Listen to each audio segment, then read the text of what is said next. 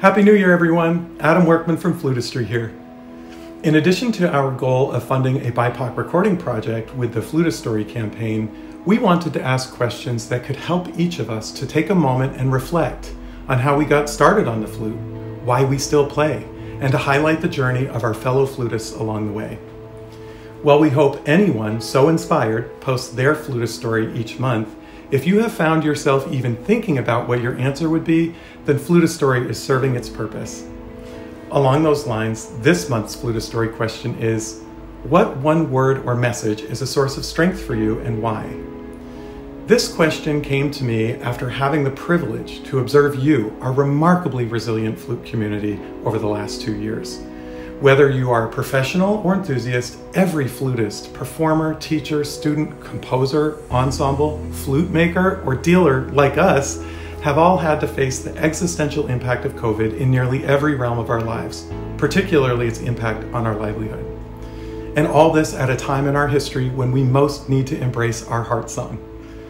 Therefore, my word for this month's Flutistory question is persist.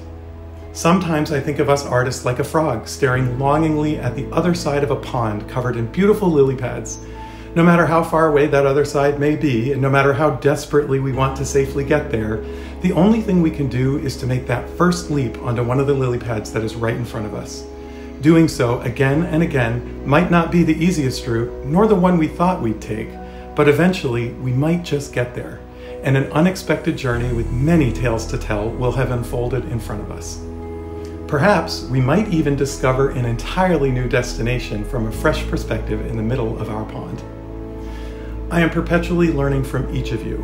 Witnessing how you pivot, innovate, and evolve in your creative authenticity is honestly one of my greatest joys, helping me and so many others to feel less alone in the chaos.